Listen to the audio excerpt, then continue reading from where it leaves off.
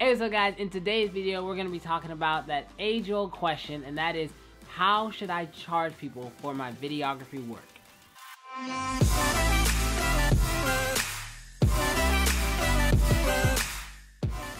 What's up guys, Brandon Washington here. If you're new to the channel, consider hitting that subscribe button and also clicking on that little bell so you don't miss any future videos that I have coming up.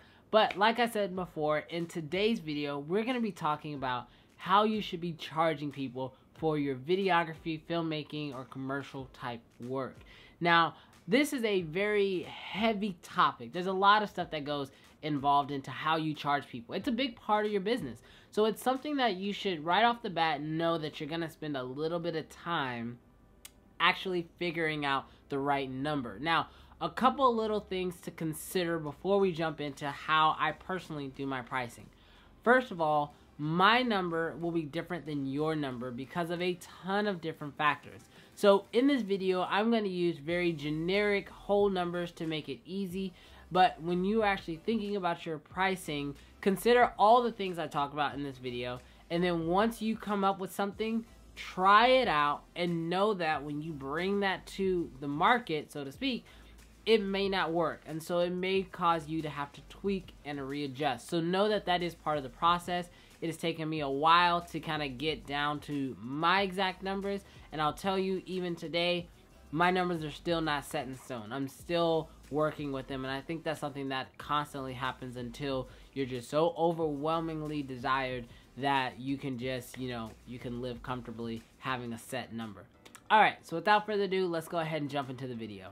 All right, so the very first thing that I like to consider when pricing out my video projects is how much money do I physically want to take home at the end of each gig.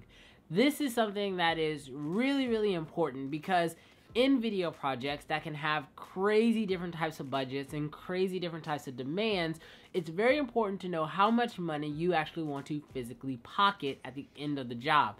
Because with expenses going out to things like rentals or for props or for you know extras or models or whatever the extra little details are in each video it's very important to know how much money you want to take home because with without even realizing it it's very easy to spend up the entire budget and not even realize that there's no money left over to actually go in your pocket as take home cash. So I'm going to start right there with how do you decide how much money you actually want to take home. Alright, so the way I decide how much money I'm going to take home is based on two different rates. I have what's called a half day rate and I have a full day rate. Now a half day rate is a shoot lasting up to 4 hours and then a full day rate is a shoot lasting up to 8 hours. So basically what I've decided is I've picked a number and so for the sake of just easy understanding, let's say my full day rate is $100 there's no way my full day rate is actually $100. But let's say, for the sake of argument, my full day rate is $100. Well, that means for 8 hours worth of work, I want to make $100. Seems pretty fair.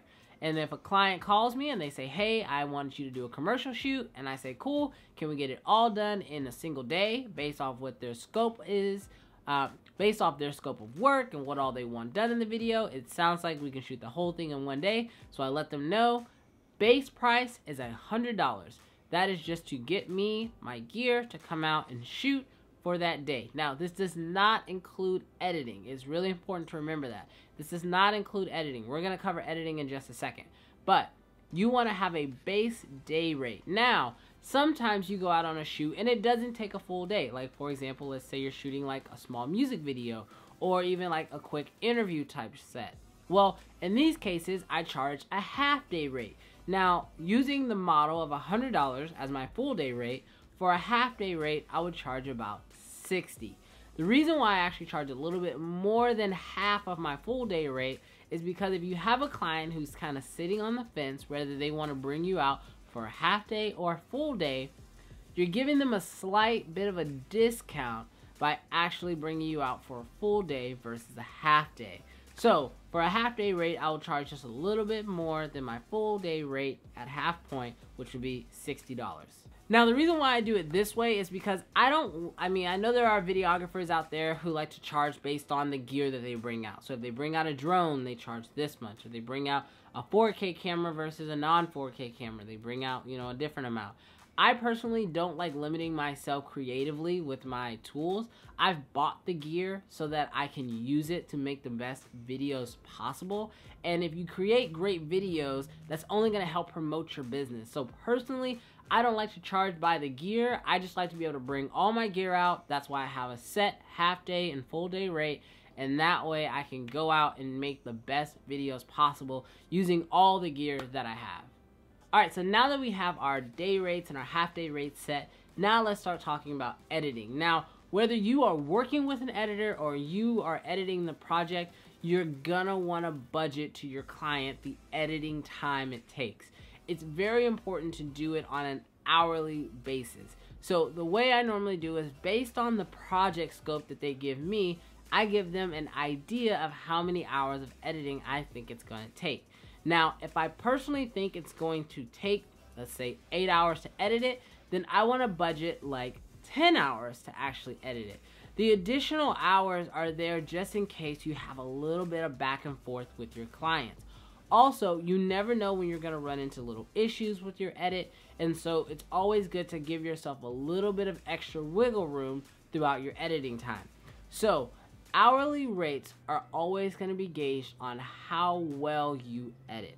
So for example, I would consider myself a very fast editor.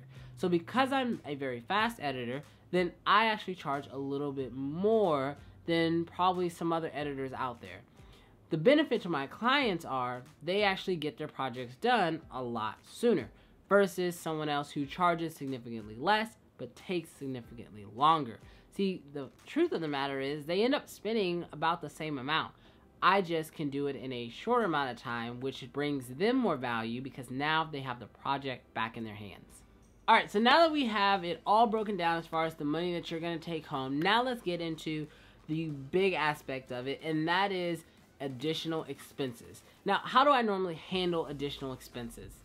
Basically, I budget them in to charge to the client. Now, this part here is very important um, because when you're working with certain clients, they're to have these crazy ideas for their videos. They always think to the max. And you kind of want them to because you want to be able to kind of have these grand ideas and then it's your job as the videographer to actually bring those ideas to life or scale them down to where they're actually doable. So when they come to you and they ask for things like, you know, nice houses or fancy cars or models or you know makeup or whatever the additional expenses are it's your job to try to bring all that stuff together and then present them a budget. And it's very important to give them a lined budget because at the end of the day they need to know where their money's going especially if they're going to approve this final budget.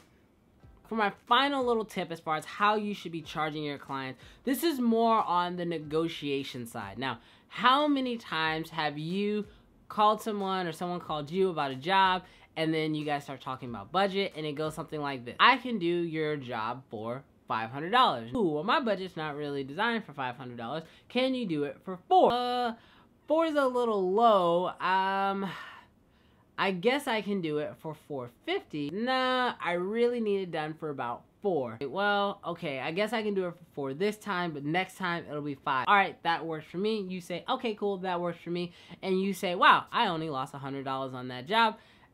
Win. No, not a win. Not even close to a win. It's a loss. Let me tell you why it's a loss. Because you've just devalued your work by a $100. Now, in this situation, it's only a $100, but how many times have we done this for a lot more than a $100? I know personally I used to deal with this haggling back and forth all the time till I got to a point where initially I was pricing my work higher knowing people were going to want to haggle me down.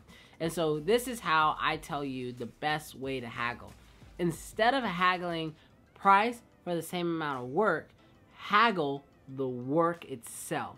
So for example, if you tell somebody, I can make your video for $500 and they say, well, I really can't afford 500. I can only afford 400. Then what you should do is rescope the amount of work you're doing to where it's actually $400 worth of work.